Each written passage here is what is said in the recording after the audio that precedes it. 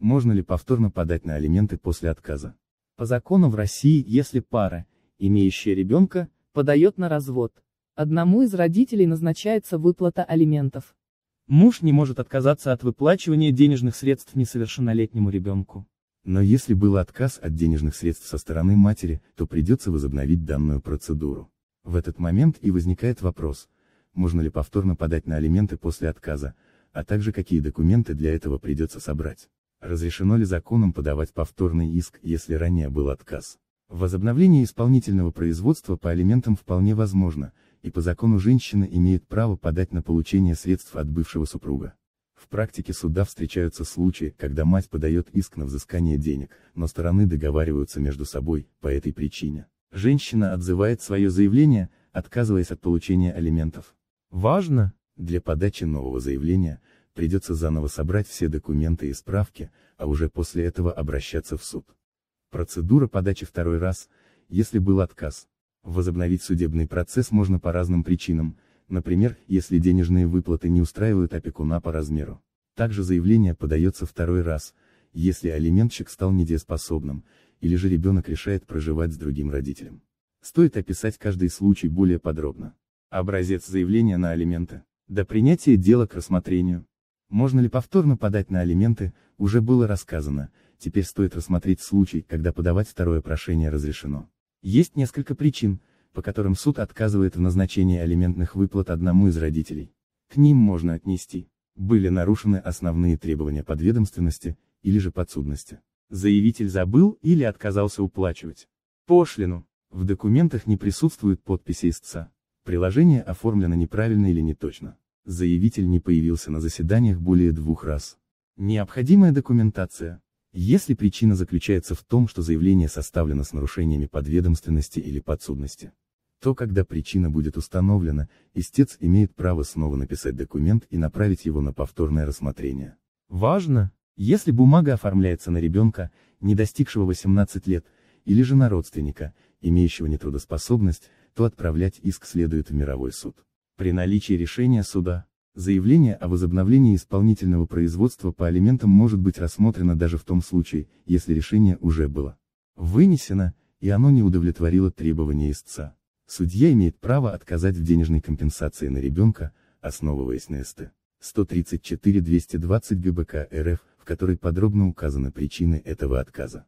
В таком случае заявитель должен определить причину, по которой судья вынес решение не в его пользу.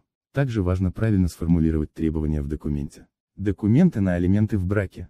В судебной практике часто встречаются случаи, когда истец подает заявление, чтобы уменьшить количество выплачиваемых средств на детей от предыдущих браков. В этом случае решение зачастую выносится не в пользу истца. Чтобы решение было положительным, женщина должна доказать, что мужчина, хотя и проживает в браке и находится рядом с детьми, не обеспечивает их полноценно, или же вовсе не участвует в их содержании.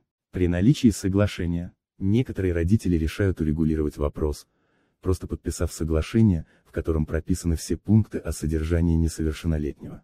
Но процедура может возобновляться в том случае, если мать решает получить от ответчика больше поддержки материального плана. В этом случае потребуется обращение в суд. Немногие знают, что если соглашение уже есть, то подача документов в суд уже будет невозможна.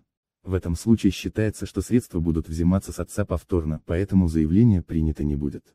Обратите внимание, даже если иск примут к рассмотрению, в ходе дела будет установлено наличие соглашения, и в рассмотрении дела откажут.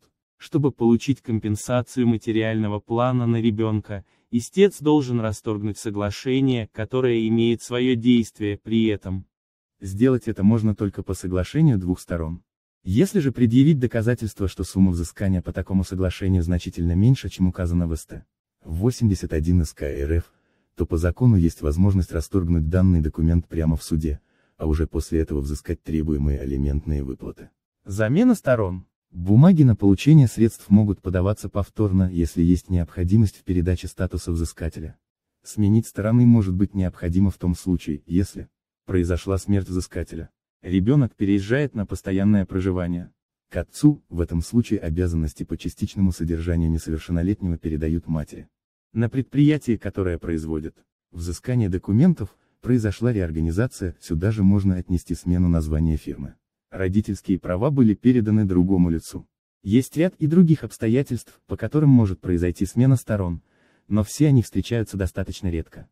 В зависимости от того, какова причина, следует составить документ, который будет строго следовать правилам Гражданско-процессуального кодекса РФ.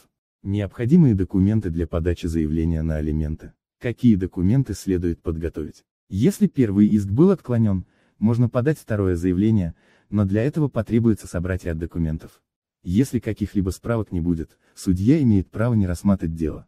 В пакет документов входят Копия свидетельства о рождении ребенка или всех детей. Выписка из банка, в которой указаны реквизиты для поступления средств. Копия паспорта взыскателя. Если ребенок был рожден в гражданском браке, следует приложить копию о признании.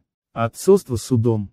Копии свидетельства о расторжении брака, свидетельства о браке, оригинал решения суда или же исполнительный лист. Это основные бумаги, которые придется подготовить но в дополнение может потребоваться выписка из домовой книги, а также справки о доходах. Судебные приставы не имеют права отказаться от повторного приема исполнительного листа.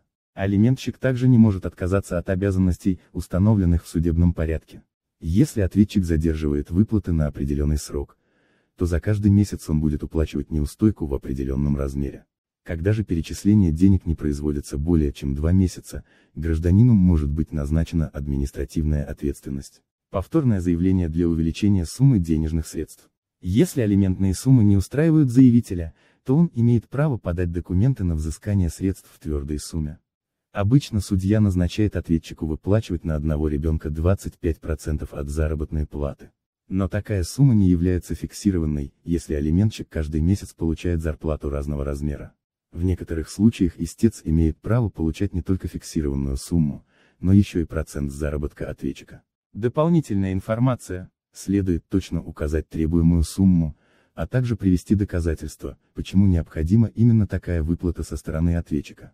Также придется доказать, что алиментщик ущемляет право несовершеннолетнего. Если отец ребенка каждый месяц зарабатывает разную сумму средств, или же есть подозрение, что алиментщик намеренно скрывает количество своего заработка, то мать имеет право повторно обратиться в суд. Зачастую истец просит установить фиксированные выплаты, или же совместить их с процентом от заработка.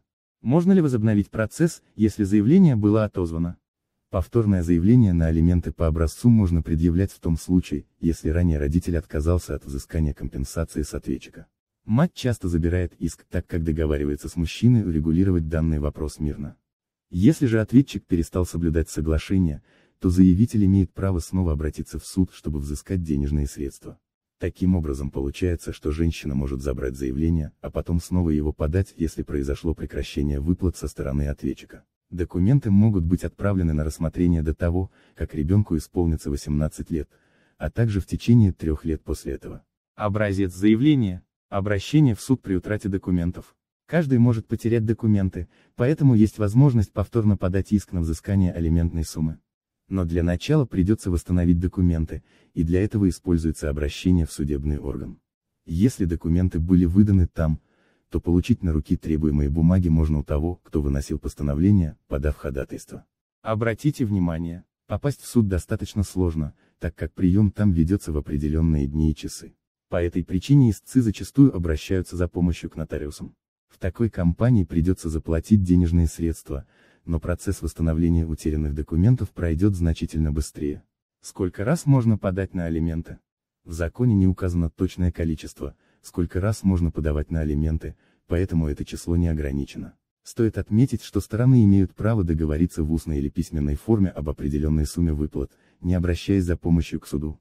Но если одну из сторон не устраивает данный договор, его расторгают и решают проблему в судебном порядке.